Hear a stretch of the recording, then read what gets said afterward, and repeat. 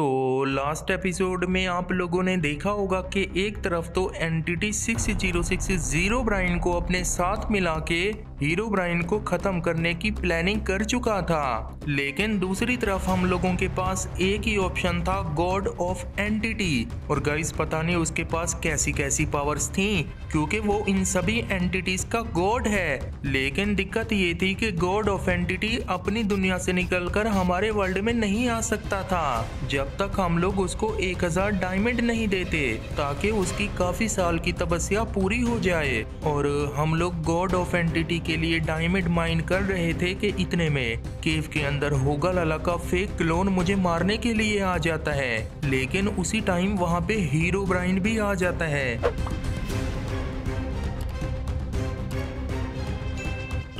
Finally guys हम लोगों को पहली सफलता तो मिल चुकी है क्योंकि हम लोगों ने होगा लाला के एक फेक बंदे को पकड़ लिया है। और गाइस इस बंदे ने हम लोगों को सारी सच्चाई बता दी। लेकिन यार दूसरी तरफ़ हीरो ब्राइन और हम सभी ने मिलके दो दिन में, आप लोग यकीन नहीं करोगे जस्ट टू डेज़ के अंदर हम लोगों ने एक हज़ार डायमंड भी माइन कर लिए। और वो सारे के सारे डायमंड्स हम देंगे गॉड ऑफ़ एंटिटी को।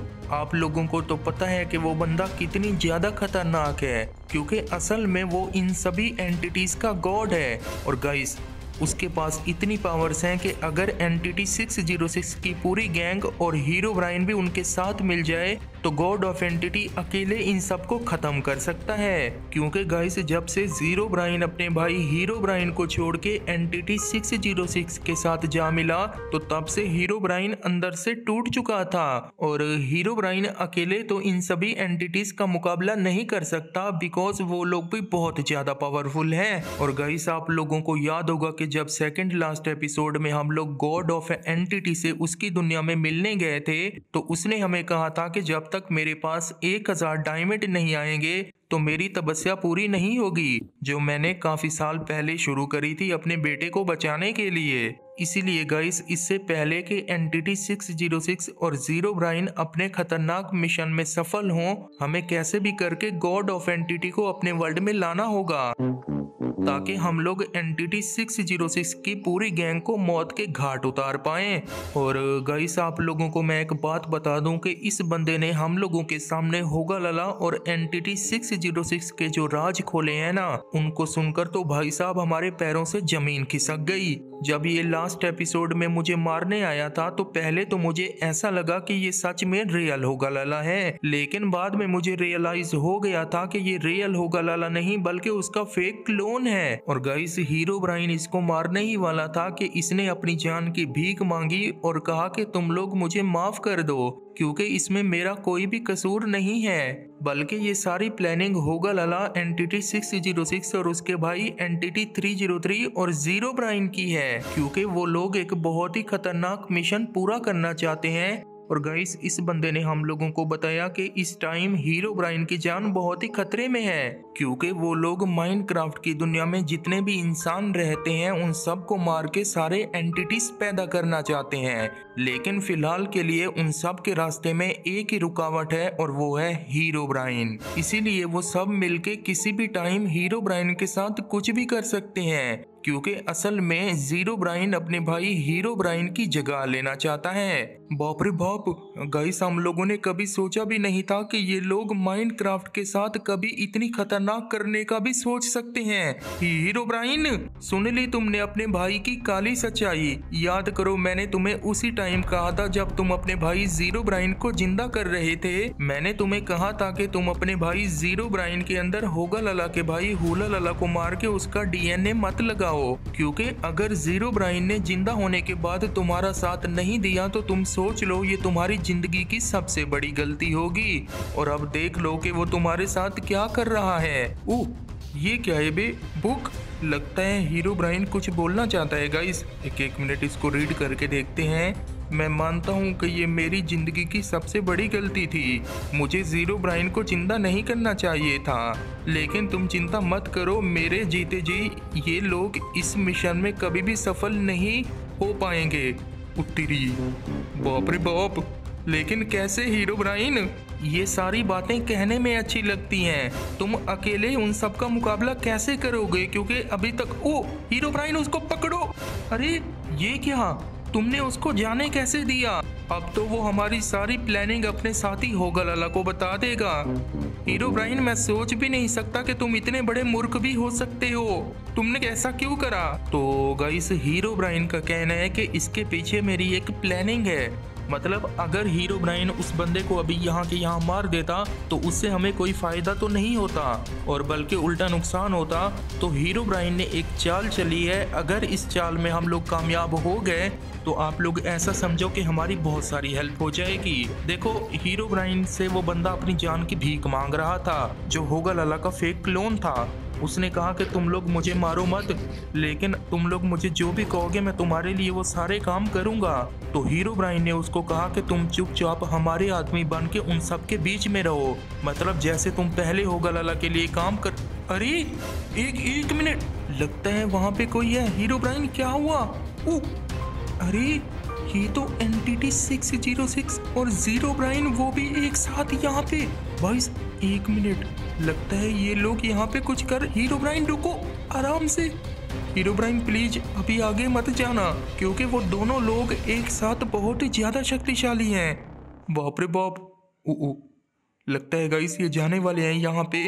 और एक मिनट। भाई, ज़ीरो ब्राइन की स्पीड तो देखो। Hero Bryan. गाइस समझ में नहीं आ रही कि ये लोग आखिर यहाँ पे कर क्या रहे थे। हीरो ब्राइन, रुको अभी। भाई, वो लोग कहीं वापस ना आ जाएँ। बाप रे बाप, हीरो ब्राइन, ये क्या है इसको? वो लोग यहाँ पे आकर गोल गोल चक्कर क्यों लगा रहे थे इसके चारों साइडों से? लगता है दाल में कुछ ना कुछ काला तो है। ऊ, गाइस, लगता है हीरो ब्राइन अपनी पावर्स की मदद से देख रहा है कि वो लोग यहाँ पे कुछ कर तो नहीं रहे थे। मतलब उनका जो मिशन है, उसको पूरा हीरो ब्राइन क्या हुआ? कुछ मिला यहाँ पे? ओ तो गाइस, हीरो ब्राइन का मानना है कि यहाँ पे तो कुछ नहीं है वो लोग ऐसे ही यहाँ पे रुके हुए थे क्योंकि ठंड बहुत है ना माइनक्राफ्ट के अंदर। ऐसा हो सकता है कि वो लोग मतलब लावा की हीट ले रहे हों। तो देखो गाइस अभी हम लोगों को सीधा जाना है जंगल में। आप लोगों को याद होगा कि हमारी एक केव है जहाँ पर हम लोगों ने लास्ट एपिसोड में माइनिंग करी थी। और कैसे भी करके 1000 डायमंड के मतलब डायमंड हमने माइन करे थे। तो अभी हम लोगों को वो डायमंड सीधे सीधे लेके जाने हैं गॉड ऑफ़ एंटिटी की दुनिया में। मतलब उसके वर्ल्ड में तो जैसे ही हम लोग वो एक हज़ार डायमंड उसको देंगे तो उसकी तपस्या पूरी हो जाएगी। तो गाइस उसके बाद वो हमारी मदद के लिए यहाँ पे आएगा और फिर पता चलेगा एनटीटी 606 और उसके चेले ज़ीरो ब्राइन को कि आखिर हीरो ब्राइन क्या चीज़ है। तो फाइनली गाइस अभी तो हम फ़िलहाल के लिए जंगल में पहुँच चुके हैं जहाँ पर हम लोगों ने जाइंट एलेक्स और जिन को छुपा रखा था। क्योंकि किसी भी टाइम एक बहुत ही बड़ी वॉर हो सकती। ओ लगता है सभी लोग हमारा ही इंतज़ार कर रहे थे। जिन, वो डायमंड पूरे हो गए थे।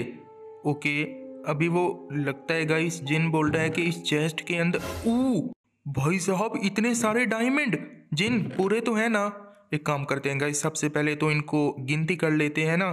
फिफ्टी और फिफ्टी वन हंड्रेड और पचास और पचास टू हंड्रेड पचास पचास थ्री हंड्रेड पचास पचास four hundred five hundred six hundred seven hundred and eight hundred nine hundred और पचास पचास पूरे वन थाउज़ेंड फाइनली गाइस एक हज़ार डायमंड हमारे पास हो चुके हैं। तो अभी हीरो ब्राइन लगता है गाइस जिनको कुछ बोल रहा है हीरो ब्राइन ये डायमंड मैं उठाऊँगा या तुम?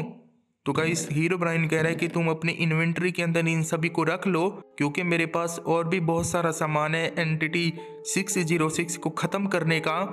तो पता नहीं गाइस हीरो ब्राइन ने कौन कौन से वेपन्स अपने पास और पावर्स छुपा रखी हैं, जिन, देखो, तुम लोग यहाँ से बाहर मत निकलना। हम लोग बहुत जल्दी लौटेंगे। गॉड ऑफ़ एंटिटी को हमारी दुनिया में लाने के लिए हमें जाना होगा। और कान खोल के सुन लो कि जब तक हम लोग वापस नहीं लौटते तुम दोनों यहाँ से बाहर भूल के भी मत निकलना। तो ओके गाइस लेकिन गाइस मुझे एक बात समझ में नहीं आ रही कि वो जो क्लोन हमने होगल अला का पकड़ा था तो हीरो ब्राइन ने मतलब उसको छोड़ क्यों दिया? मतलब उसकी क्या गारंटी होगी कि वो अब हमारा बंदा बन के entity six zero six और होगल की जासूसी करके हमें बताएगा। देखो, अगर तो उसने जाके सारी सच्चाई ना हमारे बारे में उनको बता दी तो गेम उलट भी सकती है। और अगर तो हीरो ब्राइन के प्लान के मुताबिक वो उस बंदे ने हमारा साथ दिया तो फिर क्या ही बढ़िया बात होगी हम लोगों के लिए। लेकिन गाइस आप लोगों को क्या लगता है कि हीरो ब्राइन को ऐसा करना चाहिए था? मतलब हीरो ब्राइन ने होगा लाला के फेक क्लोन पर यकीन करा और आप लोगों को क्या लगता है कि वो बंदा अब हमारे लिए काम करेगा कि नहीं? कमेंट में सभी लोग बताना। और गाइस प्लीज़ सभी लोग वीडियो को लाइक भी कर दो ताकि नेक्स्ट एपिसोड बहुत ही जल्दी आए और नेक्स्ट एपिसोड 20 मिनट का होना चाहिए या फिर 30 मिनट का या फिर 15 मिनट का कमेंट में बताना।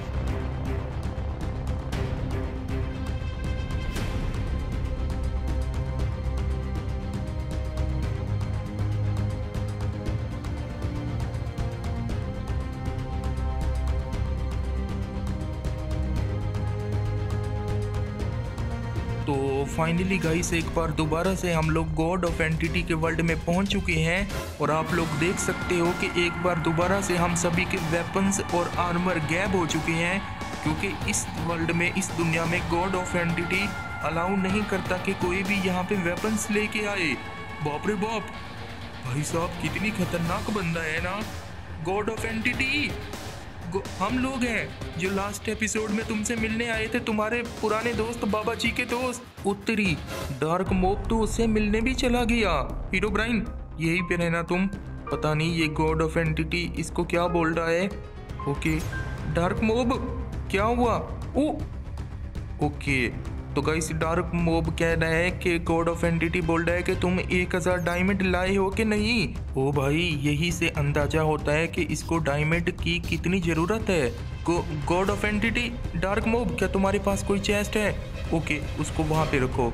तो गाइस अभी डार्क मोब चेस्ट वहाँ पे रखेगा तो मैं यहाँ पे इस चेस्ट के अंदर सारे के सारे डायमंड रखूँगा। गॉड ऑफ़ एंटिटी यहाँ से उठा लेना मैं सारे के सारे डायमंड फटाफट गाइस यहाँ पे रख लेता हूँ। पूरे के पूरे एक हज़ार डायमंड हैं। ओके गॉड ऑफ़ एंटिटी ये पूरे एक हज़ार हैं, गिन लो इनको। तो ओके गाइस लगता है अभी इसकी तपस्या पूरी होगी और ये अभी चलेगा हम लोगों के वर्ल्ड ओ, भाई साहब, तेरी भाई क्या ही गजब बंदा है। जब ये एंटिटी सिक्स ज़ीरो सिक्स और ज़ीरो ब्राइन के सामने आएगा तो तब आप लोग देखना उनकी कैसे फटती है। भाई, इसकी सेना भी है। और पता नहीं अभी इसका बेटा जिसके लिए ये तपस्या करवा रहे उसको वो कितनी ज़्यादा खतरनाक होगा। भाई, ये डायमंड उठा के चेस्ट भी तोड़ दी और ये एक मिनट, लगता है वहाँ पे कोई सीक्रेट बेस हो सकती है इसकी। डार्क मोब हमें वहाँ पे चलना चाहिए, उसके पीछे। ओके गाइस डार्क मोब कह रहा है कि तुम लोग भूल के भी ये गलती मत करना उसके पीछे जाने की। क्योंकि वो खुद ही वापस आएगा और अभी वो अपने बेटे को बताने गया होगा कि अब हम लोगों की तपस्या खत्म होने वाली है, जो काफ़ी हज़ार साल पहले हम लोगों ने शुरू करी थी। और गाइस डार्क मोब का कहना है कि एक तरह से ये चिल्ला काट रहे थे और ऐसे लोग अक्सर ऐसे काम करते रहते हैं। मतलब चिल्ला काटने से वो अपने पावर्स को और ज़्यादा इंक्रीज करते हैं। और ये तो भाई साहब गॉड ऑफ़ एंटिटी है। मतलब सभी एंटिटीज का गॉड बस एक बार गाइस ये हम लोगों के साथ चलने के लिए राज़ी हो जाए। उसके बाद आप लोग देखना कि हम लोग चुन चुन के फोड़ेंगे एंटिटी 606 और उसकी पूरी गैंग को। और ख़ास तौर पे ज़ीरो ब्राइन मक्कार ओ लगता है वो वापस आ गया। भाई साहब हीरो ब्राइन भाई, क्या ही पावर्स हैं। ओके, क्या? गॉड ऑफ़ एंटिटी प्लीज़ हमारी मदद करो। अब तुम हमारे साथ चलो। एक मिनट। गईस उसने डार्क मॉब को बुलाया। अभी ये क्या करने वाला है? भाई साहब, लगता है ये डार्क मॉब को कुछ बता रहा है। अबे, भाई, कोई दिक्कत तो नहीं होगी हम लोगों से? या फिर अभी ये हम लोगों को कोई धोखा वगैरह तो नहीं देने वाला? बाप रे बाप। लेकिन गाइस मुझे पूरा यकीन है कि गॉड ऑफ़ एंटिटी हम लोगों के साथ ऐसा कुछ, ओ डार्क मॉब अरे, ये तुम्हारे हाथ में बुक भाई साहब, लगता है दाल में कुछ काला है, क्योंकि डार्क मॉब ने वो बुक हीरो ब्राइन को दी रीड करने के लिए। ज़रूर कोई बड़ी बात होगी। Hero Bryan hero Bryan hero Bryan लगता है गाइस हीरो ब्राइन अभी रीड कर रहा है। क्या हुआ? कुछ तो बोलो। तो गाइस एक बहुत ही बड़ी दिक्कत हो चुकी है, क्योंकि ये जो बुक थी ना, वो गॉड ऑफ़ एंटिटी की तरफ़ से थी। और उसमें लिखा हुआ था कि मैंने तुम सब लोगों का फ्यूचर देख लिया है। और मुझे दिखाई दिया कि तुम लोगों की एक और भी साथी है, जिसका नाम है जाइंट एलेक्स और वही तुम्हारी सबसे बड़ी दुश्मन बनने जा रही है। आने वाले टाइम में तुम्हारे दोस्त हीरो ब्राइन पर बहुत ही बड़ा संकट आने वाला है, और ये सब होगा। जाइंट एलेक्स की मदद से। मतलब वो लोग ज़ीरो ब्राइन की तरह तुम्हारी साथी जाइंट एलेक्स को भी अपने साथ मिला लेंगे। और फिर अपनी पावर्स की मदद से उसकी पहले वाली शक्तियाँ मतलब उसकी हाइट भी इंक्रीज कर देंगे और वो काफ़ी बड़ी हो जाएगी, जैसे बिल्कुल वो पहले थी। और इस बार वो तुम्हारा साथ नहीं, बल्कि उनका साथ देगी। हीरो ब्राइन ये ये कैसा फ्यूचर देखा इसने हम लोगों का? मुझे तो बिल्कुल भी यकीन नहीं हो रहा। तुम इसको बोलो, अगर ये बात सच है तो तुम हमें यहाँ पर करके दिखाओ। मतलब जब तक हम लोग अपनी आँखों से नहीं देखेंगे, हम लोग बिलीव नहीं करेंगे। क्योंकि हीरो ब्राइन ऐसा भी हो सकता है कि ये अपनी तरफ़ से हमें गलत बता रहा हो और हम लोग जाके अपने साथी जाइंट एलेक्स को मार दें। भाई साहब, ऊ, एक मिनट। गाइस लगता है ये हम लोगों को अपना फ्यूचर दिखाने वाला है। बाप रे बाप। भाई साहब, ये क्या हो रहा है हम लोगों के? अभी तक तो कुछ भी नज़र उठती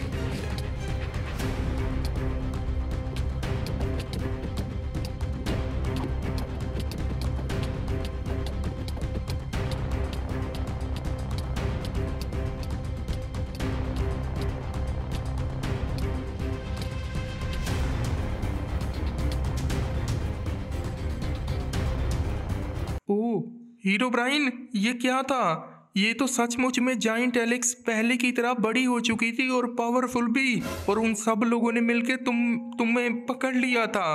अब ये पता नहीं कि तुम ज़िंदा थे या फिर मर चुके थे आने वाले फ्यूचर में, और सबसे बड़ी बात के एंड में आके नल भी मुझे मार देता है। भाई, ये हम लोगों के साथ क्या होने वाला है? तो गाइस हीरो ब्राइन का कहना है कि तुम चिंता मत करो। अभी मैं ज़िंदा हूँ, मैं कैसे भी करके ऐसा नहीं होने दूँगा। भाई साहब, लेकिन ये फ्यूचर है हीरो ब्राइन फ्यूचर जो भी होता है, वो लाजमी हो के रहता है। कोई भी उसको रोक नहीं सकता। डार्क मोब प्लीज़ तुम जाके गॉड ऑफ़ एंटिटी से एक बार पूछो कि क्या हम लोग इस फ्यूचर को रोक सकते हैं? मतलब कोई ऐसा तरीका है? हीरो ब्राइन तुम रुको पीछे हटो। भाई, हम लोग सोच भी नहीं सकते कि ज़ीरो ब्राइन की तरह जाइंट एलेक्स भी हमें धोखा दे सकती है। मतलब कितनी मुश्किल टाइम में उसने हर टाइम हमारी मदद करी है, लेकिन वो हमारे साथ ऐसा कैसे? ओ, लगता है गॉड ऑफ़ एंटिटी ने डार्क मोब को कुछ दिया है। ये क्या है बे? थ्री ज़ीरो थ्री भाई, ये तो कोई टैग लगता है मेरे को। हीरो ब्राइन ये देखो। तो गईस गॉड ऑफ़ एंटिटी ने हम लोगों को 303 एक टैग दिया है और कहा है कि ये कोई नॉर्मल टैग नहीं है और ये एक सीक्रेट पावर है। और गईस गॉड ऑफ़ एंटिटी ने हम लोगों को कहा है कि तुम लोग चिंता मत करो, बस फ़िलहाल के लिए तुम लोगों को एक ही काम करना है तो तुम्हें कैसे भी करके एनडीटी 606 की बेस में घुसना है और वहाँ पर तुम्हें रेड कलर का एक लावा मिलेगा और उस लावे के अंदर तुम्हें इस पावर को डाल देना है और उसके बाद तुम देखना कि उनके साथ होता क्या है। मतलब वो तुम्हें कोई भी नुकसान नहीं पहुँचा पाएँगे, बल्कि वो जो भी काम करेंगे, उसका उल्टा होगा। और जब तक ब्लडी नाइट भी आ जाएगी और मेरी तपस्या पूरी हो जाएगी मतलब गाइस गॉड ऑफ़ एंटिटी का कहना है कि एक ऐसी रात आएगी, उस रात में जो मून होगा ना, वो पूरा ब्लडी हो जाएगा मतलब रेड कलर का हो जाएगा। और उस रात जाके हमारी तपस्या खत्म होगी और हमारे पास और भी खतरनाक वाली पावर्स आ जाएँगी। और उसके बाद हम लोग इस दुनिया से बाहर निकल पाएँगे। लेकिन गाइस अभी हम लोगों को कैसे भी करके वो काम करना होगा जो गॉड ऑफ़ एंटिटी ने हम लोगों को बताया है, ताकि हम लोग अपने आने वाले फ्यूचर को रोक पाए। नहीं तो वो दरिंदे माइनक्राफ्ट को भस्म कर देंगे।